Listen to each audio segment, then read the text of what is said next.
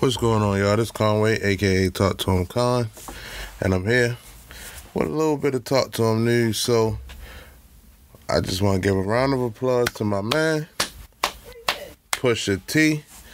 He has his first ever number one album on Billboard 200 chart with It's Almost Dry.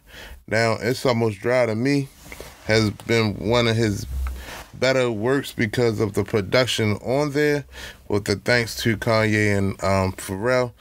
Not want my man to be a um, a mixtape rapper anymore. So it's almost dry earned 55,000 equivalent album units in the first week with 83% coming from streaming. That's all we do now. We stream. So if you're looking for something, we're definitely going to stream it. But um, 83% of his, you know, sales came from streaming. His third album to reach the top 10, peaking at number three, and uh, which was Daytona. And um, he had my my name is my name that landed at number four.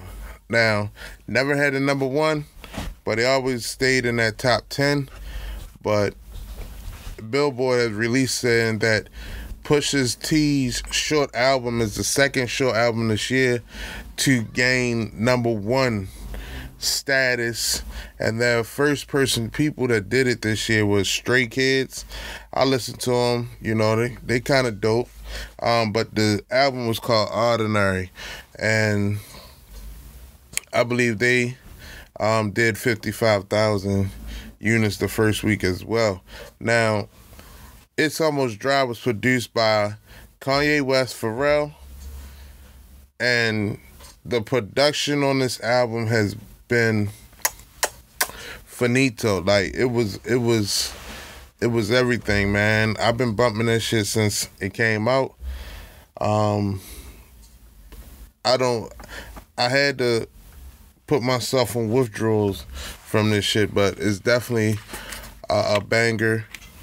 Um, now he has a, a bunch of collaborations on here with, you know, Jay Z, Kid Cudi, Lil Uzi Vert, um, Don Toliver, and a couple other people. But the biggest surprise is his brothers on here talking that talk, bro.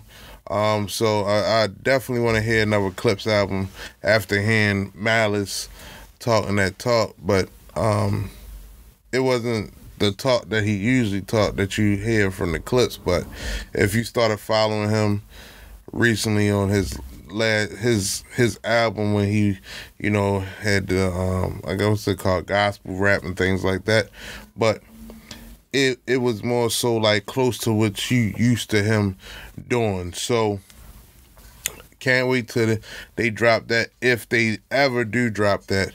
But I want to say congratulations to my man Pusha for grabbing that number one spot.